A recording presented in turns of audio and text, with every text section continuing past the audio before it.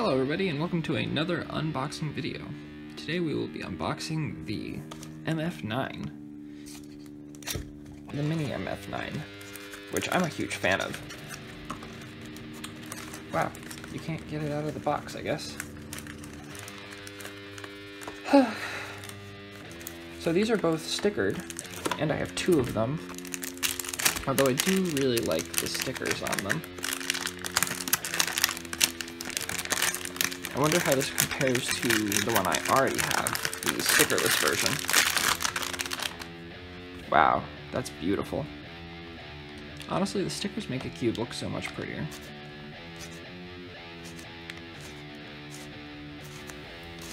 Turns pretty good. Can it corner cut? Yes, wow, that was surprising. Can it reverse corner cut? No. Yeah, no, it cannot.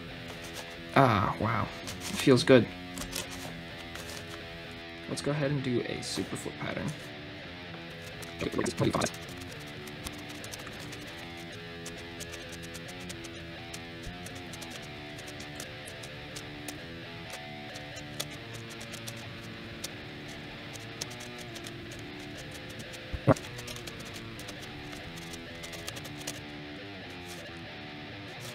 There we go.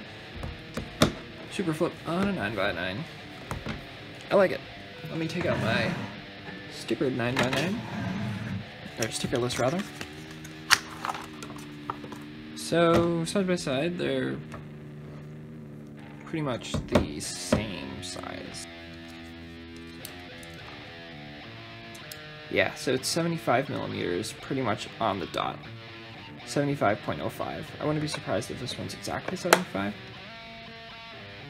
This one's a little less, this one's 74.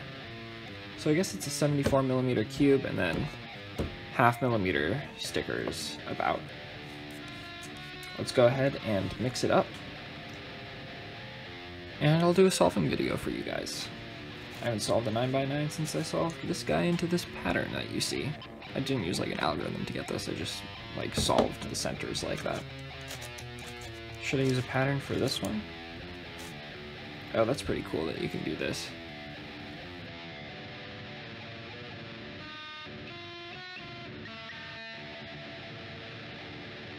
That's actually really cool.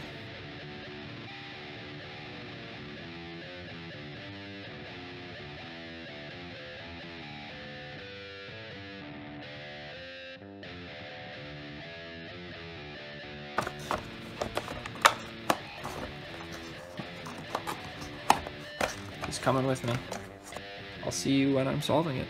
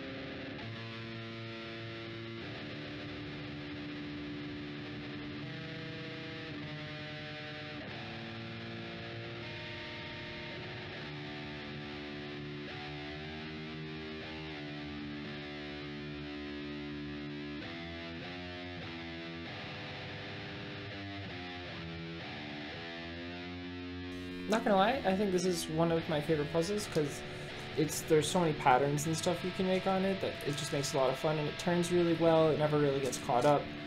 You can like like all the slices work really well.